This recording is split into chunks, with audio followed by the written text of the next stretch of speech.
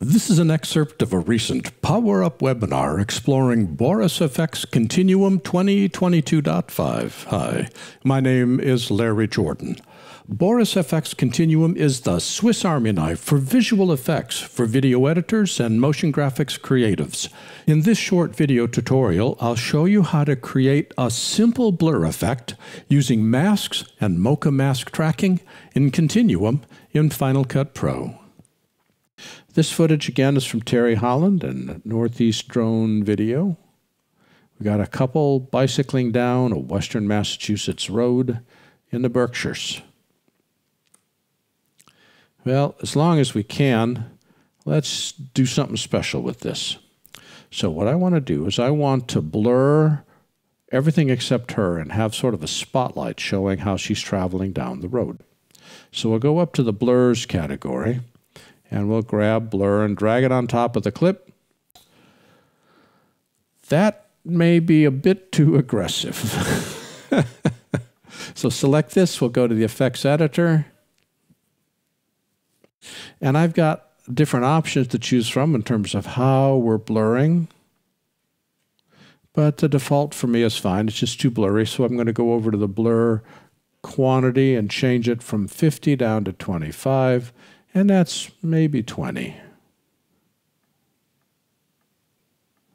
That looks better. And we'll accept that. So I'll click Apply. And now we're back in Final Cut. The Apply button is faster than closing it. Sometimes I remember the Apply button and sometimes I don't, except everything is still blurry. What I need is a, is a cutout that just emphasizes her well, that cutout is called a mask. And to do the mask, we go to the next really big deal inside Continuum, which is called Mocha Mask. Click here. And this shows me just the source video. What I need to do is to draw a region in the video that I want the effect to apply to. And there's multiple ways we can do it. I can draw a circle or an ellipse. I can draw a rectangle or a square. I can use a magnetic lasso tool to select surfaces or edges. I can create a, a B-spline or Bezier. Although I could create a really customized form with the B-spline, I'm going to create an ellipse, which I will click here, and I'll just simply draw a circle right about there. To move it, you grab the white border and drag it wherever you want it to go. I'm going to put it right there. And now we're going to tweak. First thing I'll do is I'll pull this up, pull this over, and pull this up so I can define sort of the bottom of where I want that to be. Uh, pull this, get rid of this one. So control click and say point, delete points, pull this up and over, right about there. Get rid of this one, control click, control click, point, delete control click, point, delete points, pull this one. Whoa, whoa. There we go. I want to grab. There we go. Grab the point, grab the point, push this one in. Ah, it's a work of art. Notice this timeline at the bottom. The red means that there's no tracking data here for it. So to track, I use these three commands over here. This tracks forward from the playhead, back from the playhead, and stops the tracking. I can track based upon XY movement, horizontal and vertical, scale as it gets closer, rotate as it's rotating, skew, and perspective. The best track, truthfully, comes when you get perspective, but it also takes a lot longer, and I'm not going to waste the time for it. So I'm going to track this based upon uh, these four criteria and click this button.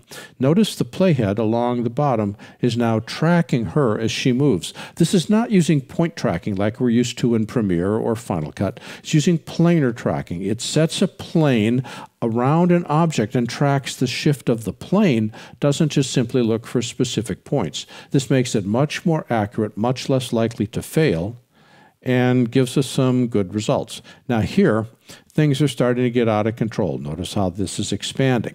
So I press the space bar to stop, and I'll push this in to keep the shape closer to her. Because of the blur we're going to be creating, I could get away without doing that, but I want to show that I can't. And notice that down here, it added a green tracking keyframe. This means that the shape will be slowly modifying itself as it starts with this shape keyframe to this shape keyframe, and now we'll track forward some more. And what I'm looking for is I want to make sure that she is not getting outside the shape. And you can see the shape, even though we're, she's getting closer and more square on to the camera, the shape itself is adjusting as she is changing her position. And again, I'll hit the space bar to stop. Again, I'll pull this in just a bit and pull this in just a bit and continue the track. If I hit the space bar, it'll play the clip, but I have to click the tracking button to track the clip. Now here's something that breaks Final Cut. We're about to have a van pass behind her, and Final Cut always gets distracted and stays with the van, breaking the track. Mocha Pro does not. Cue the van and comes in and the track remains solid, doesn't try to follow the other object. And notice how the track is now beautifully around just her body. It's, it's managed to change the size as we're changing the size and perspective. If I play this back, option left arrow, and just hit the spacebar, notice how that track smoothly tracks with her as she's cruising down the road. So now we've got the track created. We'll close this, accept changes, say save. But, huh, she's blurry, everything else is not. And look at the sharp edges we've got here.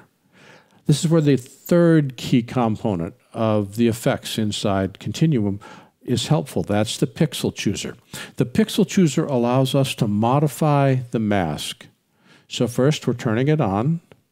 I could view the mask, but I can see pretty much what I'm doing here. I'm going to twirl down mask and invert it so that I get everything else blurry. And then I'm going to add a little bit of feathering just to soften the edges a bit. Not a lot, as these things go. And now watch what happens as we play this back. She stays in focus.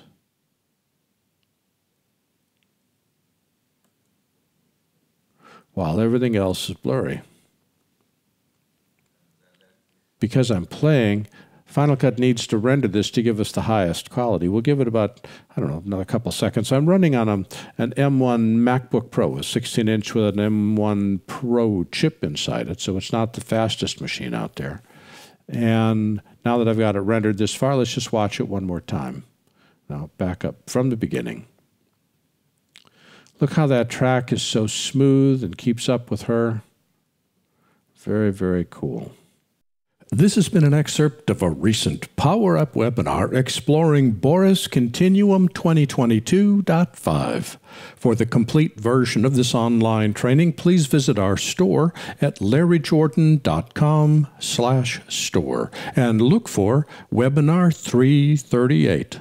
By the way, when you need to stretch your training dollars, membership in our video training library saves you money and time. You can access all our videos for a low monthly price of only $19.99. That's almost 2,000 movies, hundreds of hours on a wide variety of subjects.